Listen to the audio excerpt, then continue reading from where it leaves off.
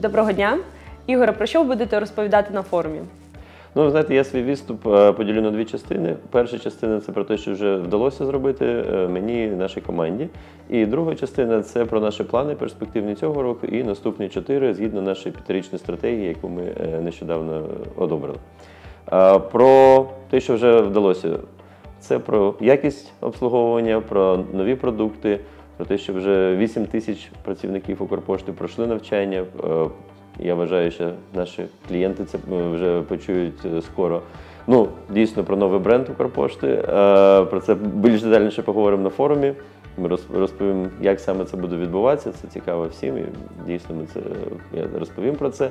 Ну і про наші плани які продукти будуть виходити на ринок, як ми плануємо працювати з великими іноземними компаніями. Всі ж питають про Amazon.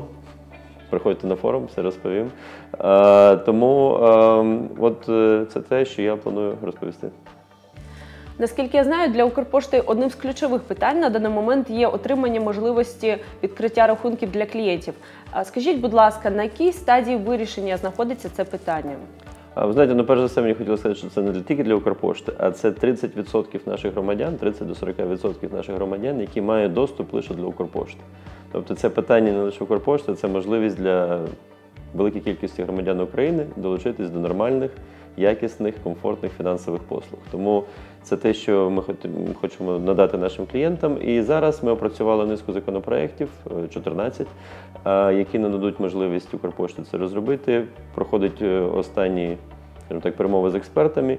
І вже наступного місяця ми плануємо внести це в Раду на розгляд народних депутатів і дуже розраховуємо на їх підтримку. Більш детальніше розповім на форумі.